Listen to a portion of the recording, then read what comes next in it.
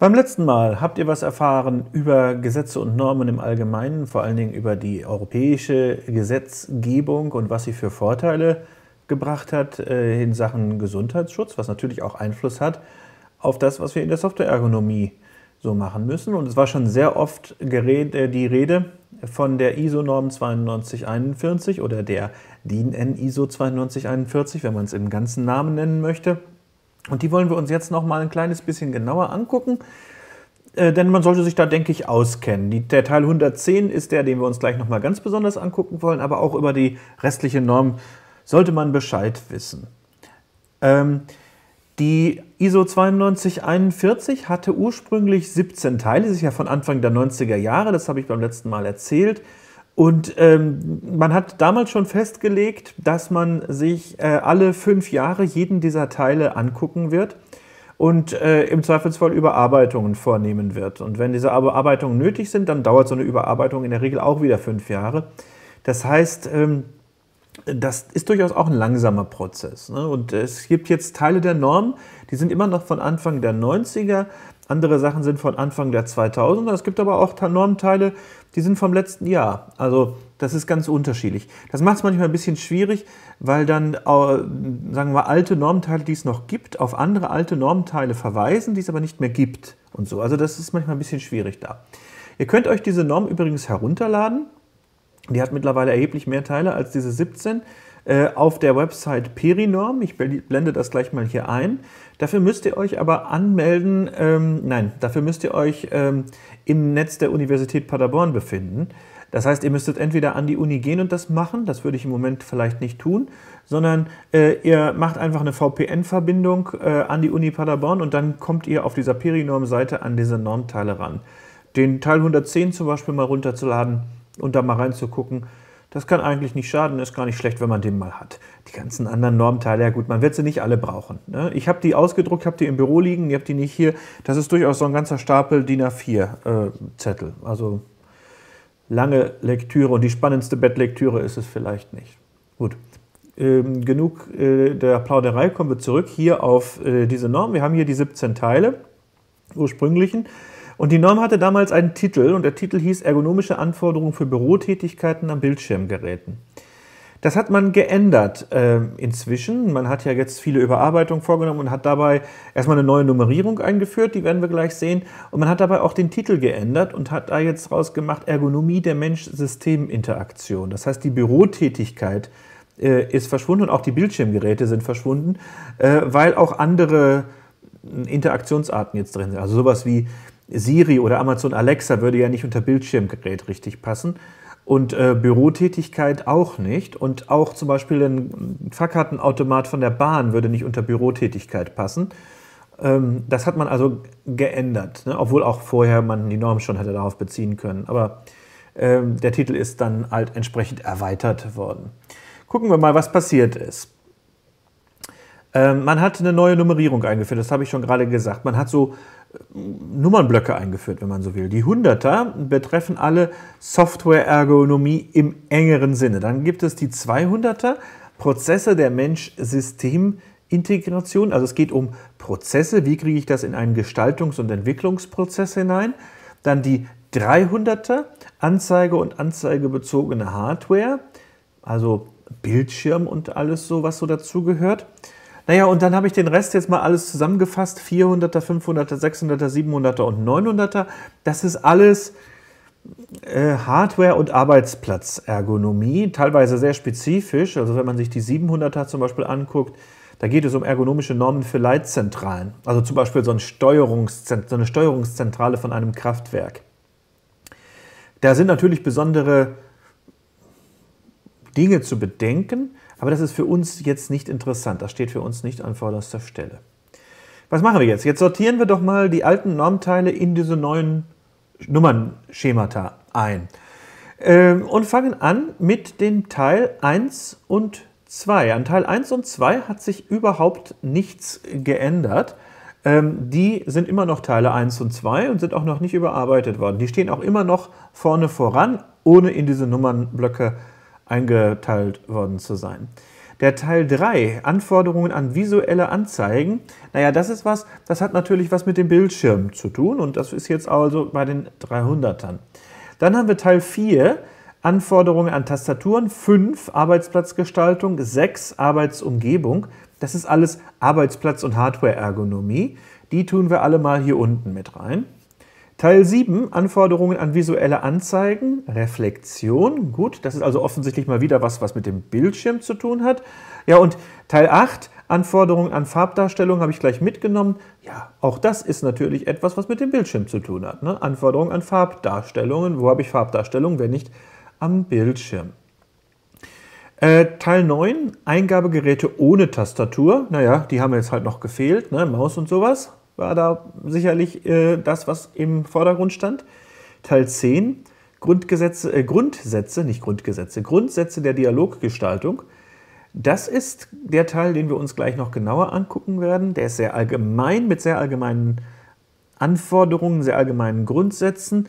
Äh, der gehört natürlich oben in, die, in den Bereich der Softwareergonomie hinein. Dann kommt der Teil 11, Anforderungen an die Gebrauchstauglichkeit. Der ist nach wie vor außen vor geblieben, ist nicht einsortiert worden, bleibt als Teil 11 vorne bestehen. Jetzt kommt ein ganz großer Block 12, 13, 14, 15, 16 und 17. Das sind alles besondere Aspekte dieser Softwareergonomie. Also wie stelle ich Informationen am Bildschirm dar? Wie mache ich eine Benutzerführung? Also wie kann ich da durch das Programm hindurchkommen?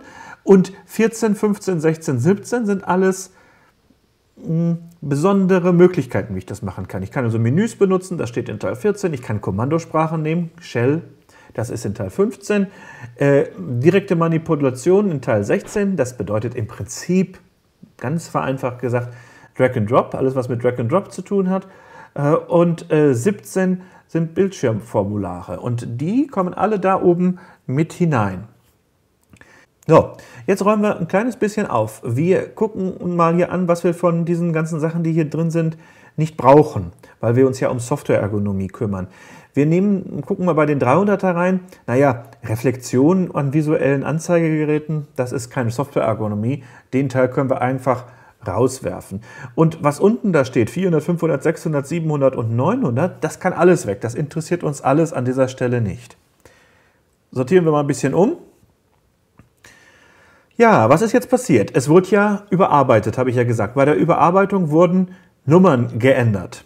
Ähm, sonst würde das ja auch keinen Sinn ergeben mit 100er, 200er und 300er. Das ist bei einigen Normteilen schon passiert und einige sind noch nicht umnummeriert worden, haben also noch ihre alte Nummer aus dem alten 17-jährigen, äh, 17-teiligen Kanon.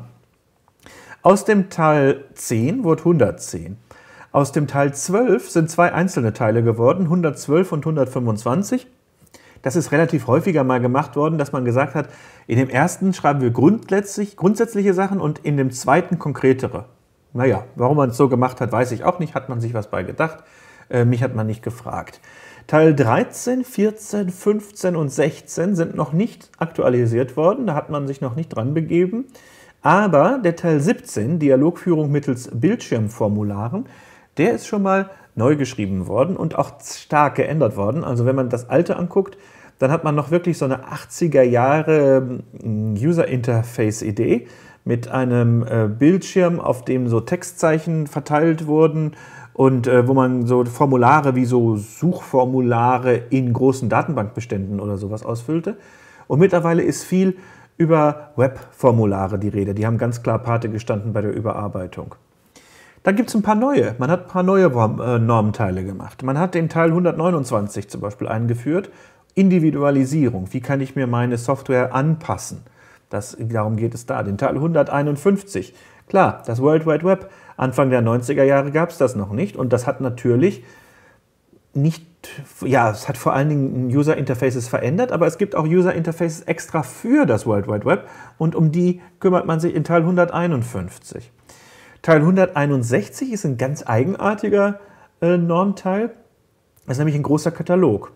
Da steht dann sowas drin wie, das ist das Fenster und das Fenster besteht aus diesen und diesen Teilen und rechts ist der, äh, die Scrollbar und die Scrollbar besteht wiederum aus diesen und diesen Teilen.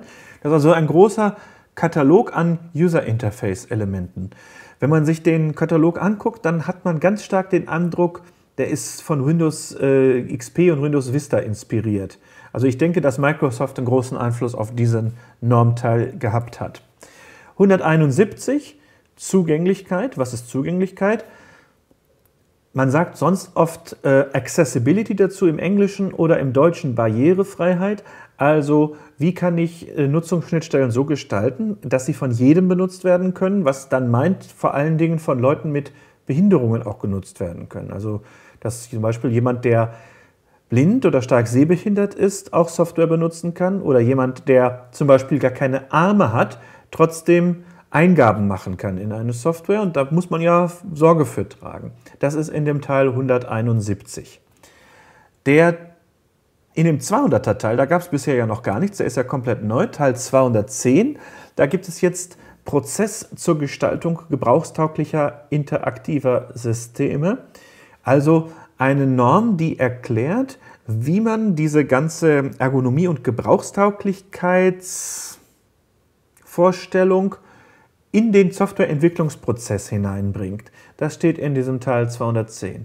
Ja, und dann haben wir noch unsere zwei übrig gebliebenen teilweise hardware-ergonomischen, aber auch software-ergonomischen äh, Bereiche. Also unten steht 3 und 8. Äh, daraus sind auch wieder zwei Normteile geworden. Die sind allerdings nicht gleich aufgeteilt. Deswegen habe ich den Block jetzt mal so quer darüber gemacht. 300 und 303. Da steht viel drin, äh, was äh, Farbgestaltung vor allen Dingen angeht.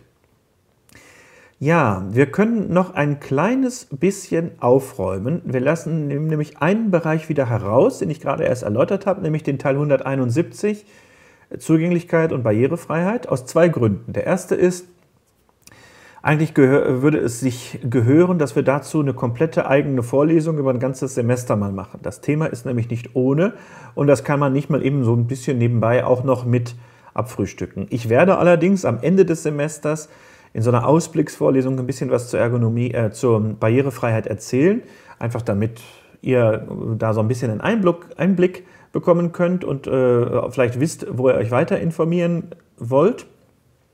Aber umfangreich spreche ich nicht darüber. Und der andere Grund, warum wir die 171 hier loswerden, ist auch, ähm, dass sich die Gesetzgebung zur Barrierefreiheit, das ist in äh, Europa die Barriere, nicht in Europa, in Deutschland, die barrierefreie Informationstechnikverordnung, die bezieht sich nicht auf diesen Teil 171, sondern äh, die bezieht sich äh, auf die Web Content Accessibility Guidelines vom W3C, also eine andere Norm.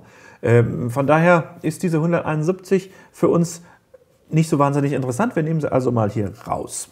So, das ist jetzt also der Teil, über dessen Inhalte wir uns im Prinzip innerhalb dieser Vorlesung unterhalten. Wir machen das nicht an dieser Norm, wir laufen nicht der Norm entlang, aber viele der Sachen, die in der Vorlesung angesprochen werden, finden sich da drin wieder, teilweise auch detaillierter. Also wenn ihr zum Beispiel diese Teile anguckt, 14, 15, 16, ähm, da werdet ihr teilweise genauere Bestimmungen und auch viel mehr Alternativen finden als die, die wir hier besprechen. Wir reden zum Beispiel äh, in einer äh, Vorlesung durchaus umfangreich mal über Menüs, aber nicht in allen möglichen äh, in allen möglichen Schattierungen von Menüs, die es dann da gibt. Die sind aber in diesem Teil 14 genannt, zumindest alle die, die es zum damaligen Zeitpunkt so gab. Ja, das nur mal als Überblick über die Norm als Ganzes und Jetzt nochmal etwas genauerer Einblick in den Teil 110, der ja da gleich als oberstes steht und den schönen Titel hat Grundsätze der Dialoggestaltung. Der Begriff Dialoggestaltung ist irgendwie noch altmodisch geblieben. Das ist eigentlich ein Begriff aus den 70er und 80er Jahren, der irgendwie Mitte der 90er dann so ein bisschen ähm, ja, wieder abhanden gekommen ist, dass man von einem Bildschirmdialog gesprochen hat. Äh, Im nächsten Video wird es nochmal um die Dialogmetapher gehen. Ähm, da werdet ihr vielleicht ähm, sehen, warum, also dass man nicht von Dialogen mehr spricht. Stellt euch einfach jetzt immer vor, wenn da steht Dialog, dass das einfach der Ablauf des Nutzungsprozesses ist, also wie ich am Bildschirm interagiere. Das ist damit gemeint. Dies ist die Übersicht dieser sieben Kriterien ähm, oder Grundsätze sind es ja. Ähm, ich will jetzt gar nicht hier über diese Übersicht sprechen, sondern wir gehen die tatsächlich einfach mal der Reihe nach durch, so wie sie auch in der Norm stehen. Und in der Norm steht jeweils natürlich eine Beschreibung, was dieses Kriterium bedeutet. Und dann stehen da so Unterkriterien und zu diesen Unterkriterien stehen dann wiederum Beispiele. Und von den Beispielen habe ich hier immer ein paar aufgeführt. Und die blau ummalten sind die, über die ich kurz sprechen möchte. Weil über alle Beispiele sprechen, dann würden wir jetzt hier noch Tage sitzen. Also ich würde hier Tage sitzen und ihr müsst es euch tagelang anhören. Das muss ja nicht sein, ist schon lang genug. Aufgabenangemessenheit. Ein interaktives System ist aufgabenangemessen, wenn es den Benutzer unterstützt, seine Arbeitsaufgabe zu erledigen. Das heißt, wenn Funktionalität und Dialog auf den charakteristischen Eigenschaften der Arbeitsaufgabe basieren, anstatt auf der zur Arbeit, zur Aufgabenerledigung eingesetzten Technologie. Wichtig ist, was hier in Fett steht. Es geht hier um die charakteristischen Eigenschaften der Arbeitsaufgabe. Diese Forderung nach Aufgabenangemessenheit, dieser Grundsatz, das ist der, der, da ist die ISO wirklich richtig stark. Auch in ganz vielen anderen Bereichen geht es immer um Analyse der Aufgabe oder Analyse des Nutzungskontextes, was oft auf das Gleiche hinausläuft. Gucken wir uns die beiden Beispiele mal an. Bei einem Fahrkartenautomaten in einem Bahnhof, bei dem festgestellt wurde, dass Bahnreisende üblicherweise ihre Reise dort beginnen, ist dieser Bahnhof als Abfahrtsbahnhof zum Dialogbeginn voreingestellt. Mhm. Gut, das setzt so ein bisschen voraus, ich habe offensichtlich mal eine Analyse gemacht der Aufgabe. Nämlich ich habe geguckt, aha, an diesem Bahnhof ist das offensichtlich so. Könnte sein, dass es an anderen Bahnhöfen anders ist. Weiß ich ehrlich gesagt nicht, aber zumindest ist es so formuliert, dass man das annehmen kann. Zweiter Teil, ein Softwarepaket für die Verwaltung von Geschäftskontakten, das Eingabefelder sowohl für Postleitzahlen wie auch für Städte hat, zeigt automatisch die Stadt auf der Grundlage der Postleitzahl an und umgekehrt, um unnötige Dialogschritte zu vermeiden. Gut, dieses und umgekehrt funktioniert heute nicht mehr, zumindest nicht in Deutschland, weil wir ja in einer Stadt mehr als eine Postleitzahl haben. Zumindest können wir dann nicht so ein genaues Matching machen. Aber nehmen wir mal nur die eine Richtung, Postleitzahl Ort. Ja, äh, ist ähnlich, aber nicht ganz das gleiche. Denn ähm, wenn ich aus der Postleitzahl den Ort zu 100% schließen kann, dann habe ich ja eigentlich keine Notwendigkeit, äh, überhaupt jemals etwas anderes einzugehen. Das heißt, ich brauche eigentlich auch keine Aufgabenanalyse zu machen, sondern die Daten an sich geben das schon her. Ne? Die Datengrundlage gibt her, dass ich das eine aus dem anderen schließen kann. Ah, na gut, aber trotzdem, beides Aufgabenangemessenheit, damit kann man gut leben. Selbstbeschreibungsfähigkeit. Ein Dialog ist in dem Maße selbstbeschreibungsfähig, in dem für den Benutzer zu jeder Zeit offensichtlich ist, in welchem Dialog an welcher Stelle im Dialog er sich befindet, welche Handlungen unternommen werden können und wie diese ausgeführt werden können. Scheint was mit Orientierung zu tun zu haben. Ne? Wo bin ich in dem ganzen Ablauf? An welcher Stelle von dem Ganzen? Was kann ich hier tun und wie kann ich es tun? Ja, das ist doch, hat was mit Orientierung zu tun. Gucken wir uns die beiden Beispiele an.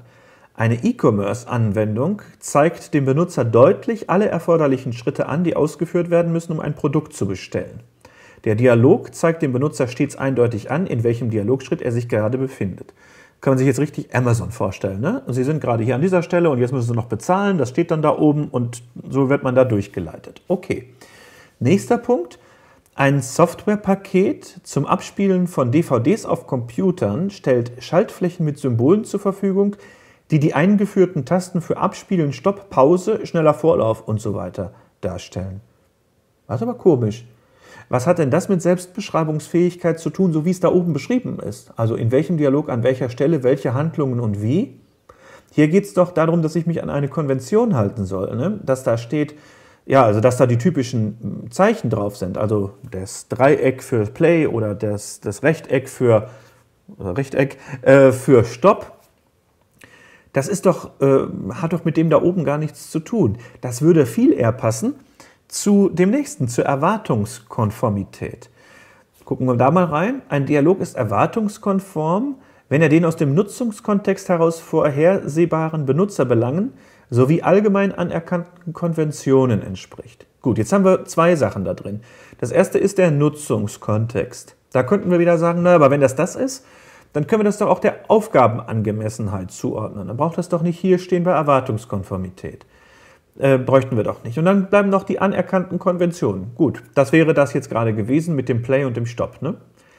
Eine, Anwendung für Ab eine Anwendung für die Abwicklung von Bankgeschäften nutzt bankenübliche Begriffe wie Überweisung und Girokonto. Mhm, das ist genau das, wo ich sagen würde, Aufgabenangemessenheit.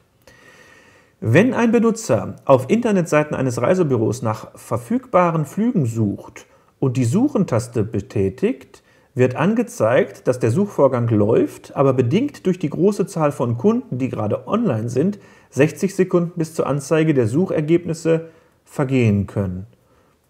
Hm. Ist das was, was aus dem Nutzungskontext heraus vorhersehbar ist? Ach, eigentlich nicht. Also wenn es lange dauert, da sollte immer irgendwie eine Anzeige kommen, egal in welchem Nutzungskontext. Und das, hat das was mit anerkannten Konventionen zu tun? Eigentlich auch nicht. Ähm, diese Sache da, dass das passiert, das ist doch ganz was anderes. Das passt doch hier eigentlich gar nicht hin. Das passt gar nicht richtig zur Erwartungskonformität. Das würde besser eigentlich doch hier auf die Selbstbeschreibungsfähigkeit wieder hingepasst haben. Ne? Es, es beschreibt halt, was gerade passiert, wo ich mich befinde und wie es weitergehen kann. Aber es ist hier bei der Erwartungskonformität eingeordnet. Nächster Punkt Lernförderlichkeit. Ein Dialog ist lernförderlich, wenn er den Benutzer beim Erlernen der Nutzung des interaktiven Systems unterstützt und anleitet. Es geht also irgendwie darum, dass man es auch erlernen kann, das Ganze, was man macht. Natürlich wichtig. Ein Softwarepaket erklärt die Benutzung einzelner Menüpunkte, wenn der Benutzer die zugehörige Hilfetaste drückt. Ja, aber warum ist das denn nicht Selbstbeschreibungsfähigkeit? Denn da stand doch drin, dass jeweils klar ist, wie die nächsten Handlungen durchgeführt werden kann. Da würde das doch genau hinpassen. Ein Zeitplanungssystem für die Auslieferung von Waren erlaubt es dem Benutzer, Änderungen im Zeitplan auszuprobieren – und nachhaltige Auswirkungen erkennen zu können, ohne die Änderung im System zu übernehmen. Das bedeutet, man kann so eine Art Trial and Error machen, also vielleicht ein Undo oder ich kriege eine schöne Vorschau. Warum ist das denn nicht auch entweder Selbstbeschreibungsfähigkeit, dass ich also genau beschrieben kriege, welche Handlungen möglich sind, das stand da ja, oder Steuerbarkeit, was als nächstes kommt, dann würde nämlich ein Undo auch drunter fallen, dass ich irgendwie auch rückwärts gehen kann in meinem Fortlauf. Steuerbarkeit. Ein Dialog ist steuerbar, wenn der Benutzer in der Lage ist, den Dialogablauf zu starten sowie seine Richtung und Geschwindigkeit zu beeinflussen, bis das Ziel erreicht ist. Mhm.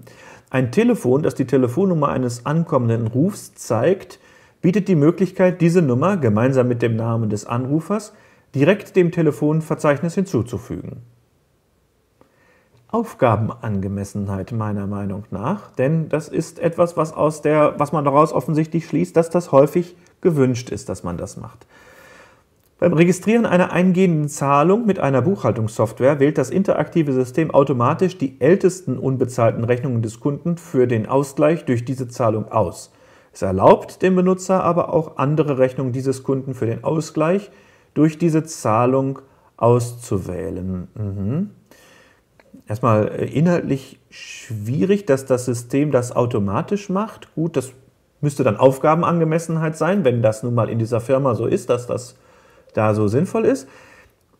Hm. Und dann bleibt noch der zweite Teil, dass man das aber überschreiben kann. Also dass man sagen kann, ja, das ist eine Vorauswahl, aber ich kann auch selber beeinflussen, welche Zahlung ausgeglichen werden will. Das würde jetzt gut passen unter die Steuerbarkeit, finde ich.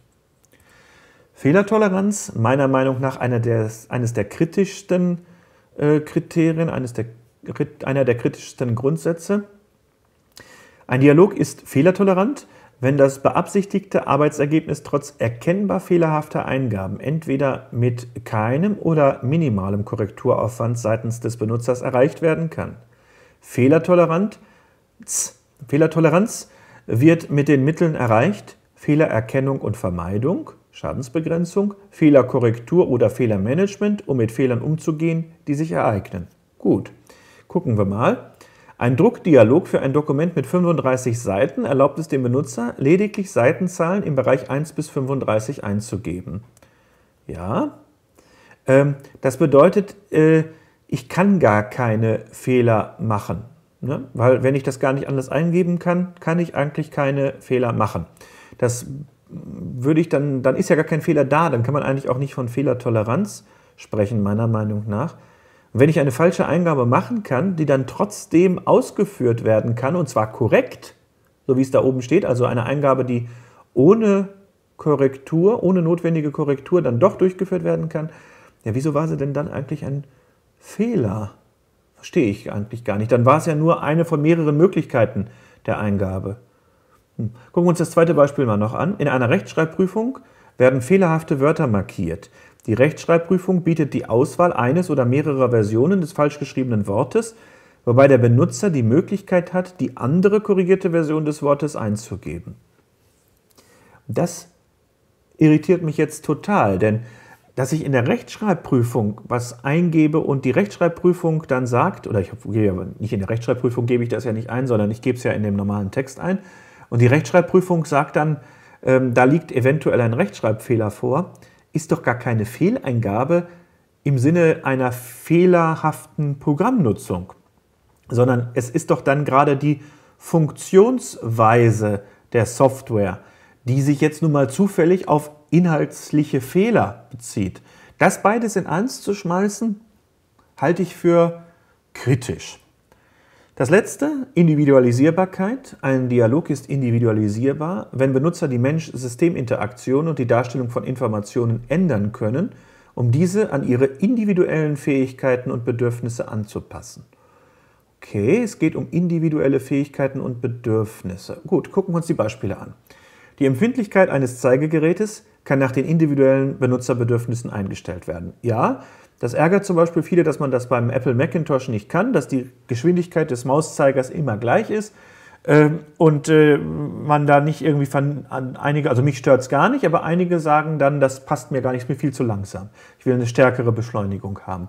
Das ist, passt gut hierher. Gut, okay, weiter. Ein Fahrkartenautomat an, in einem Bahnhof, schon wieder, erlaubt es dem Benutzer, Bahnhofsnamen entweder direkt einzugeben oder aus einer Liste auszuwählen. Ja, aber jetzt passt das nicht zu dem, was da oben steht, weil da ist gar keine Anpassung drin. Äh, denn wenn ich entweder das eine oder das andere machen kann, mir also beides angeboten wird, das ist natürlich gut. Das empfehlen wir sogar auch. Aber es ist nicht dementsprechend, was da oben steht. Es geht gar nicht um Anpassung, sondern es hat dann eine naja, höhere Heterogenität. Es sind mehrere Möglichkeiten gleich von vornherein gegeben. Wie kommt das? Was ist jetzt hier los? Ich habe da jetzt einiges kritisiert. Wieso ist das so komisch? Ähm, das hängt damit zusammen, wie diese ISO-Norm entstanden ist oder beziehungsweise wie diese Grundsätze der Dialoggestaltung entstanden sind. Das kann man mal sich vereinfacht so vorstellen. Ich frage euch jetzt alle, was für Probleme habt ihr mit der Bedienung von Software schon gehabt und ihr schreibt mir das mal alle auf. Dann sammle ich das ein und habe dann hoffentlich so riesige Haufen, sagen wir mal, ihr habt alle auf den Zettel geschrieben, also riesige Haufen Zettel. Und was mache ich jetzt? Jetzt versuche ich mal zu clustern und mache dann so, dieses hat alles mit Fehlern zu tun, dieses alles mit Individualisierung zu tun. Dann habe ich mehrere so Häufchen und über diese Häufchen schreibe ich dann diese Begriffe drüber.